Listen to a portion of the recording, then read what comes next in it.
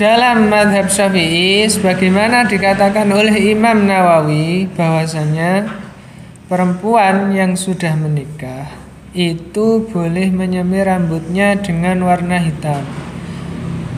Nah pendapat ini juga dikatakan oleh Imam Romli dan pendapat ini aujah. Sedangkan yang belum bersuami kata kedua ulama itu maka haram. Lah kalau pendapat kok sudah disepakati oleh Imam Nawawi dan Imam Rafi'i maka itu adalah pendapat yang paling kuat. Jadi kesimpulannya perempuan yang sudah menikah atas izin suaminya itu boleh menyemir rambutnya dengan warna hitam. Lah sedangkan yang belum menikah maka haram.